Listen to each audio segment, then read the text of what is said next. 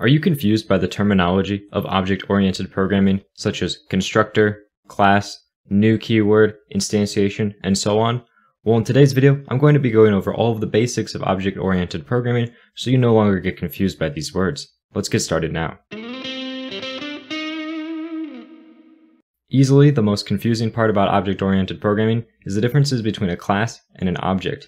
And simply put, a class is going to be a blueprint. Essentially, it defines all of the methods, it defines all of the different properties that our objects can have, but it doesn't actually give it any data or information. It's just a blueprint, a holder for what our object is going to look like. And an object, on the other hand, is an instantiated version of a class. Essentially, it's a specific version of a class that has all of the extra information filled in, such as the different values for the properties and what all the methods are going to return. So this is very similar to how a house and a blueprint work. A blueprint is going to be the same as a class. The blueprint defines what we want our house to look like. In general, it's going to be where the walls go, where the different rooms are. But the blueprint doesn't tell us what color the house is going to be or what furniture is going to be in that house. The actual object itself, or the house in this instance, is going to tell us what the color is and what the different furniture is going to be inside of it, but not the blueprint, which in our case is the class. And then moving on from there, we have the new keyword. The new keyword is how we actually take a class and turn it into an object. And to do that, we use the constructor inside of the class. To make all of these different points concrete, let's look at an example in actual code using JavaScript.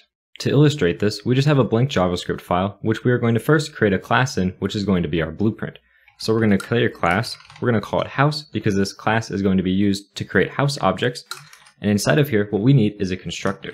So we can just type the keyword constructor, and the constructor is going to take all the parameters we want to put into our house when we create a new instance or a new object of that house. So for example, we want to know the color of our house because every house we create is going to have a different color. And then inside of here, we can just set that color. So we can say this dot color is equal to color. And this is just going to save our color onto our house object itself that we're creating. Now all we can do is come down here, we can create a variable, we're just going to call it house object because this is going to be the actual instantiated object of our house. We just want to set that equal to new house. And the reason we use this new keyword is because by putting the new keyword before the name of the class, in our case house, it's going to call the constructor with everything we pass into the brackets here, these curly, or these parentheses here. So if we pass in a color, for example, red, now this is going to pass this red variable in here for color, and it's going to set it on our house. This is going to create us a new version of this house class, which is going to be an object, and it's going to save it in this house object variable. And for example, if we wanted to have a function on our house that got us all the furniture in our house, we could just say get furniture, and we just say it takes nothing, and in here it's just going to return us our furniture, which in our case is just a single sofa. And this function is going to be shared between all the different instances or all the different objects of our house class.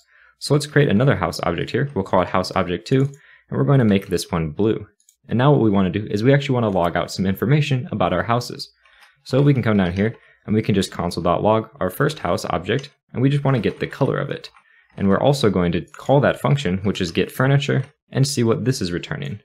We're going to do the exact same thing, but for our second house down here. So we're going to say house object 2 and 2, save that, and now let's actually see what that returns. If we see over here, we have red being returned as the color of our first house, and sofa being returned for our furniture, and you can see our blue house has blue being returned as a color, and again, sofa is being returned for the furniture, because this function is on the definition of the class, which means it's shared between all the different objects, house object 1 and house object 2. But this color is being variable. It got passed into the constructor. So this is being changed based on what we passed in here for our new house in our case, the first one is red and the second one is blue. If you want to see more videos of me simplifying programming terminology, let me know down in the comments and I can turn this into a full series. Also, let me know what other terms you want me to cover in the future. Thank you very much for watching this video and have a good day.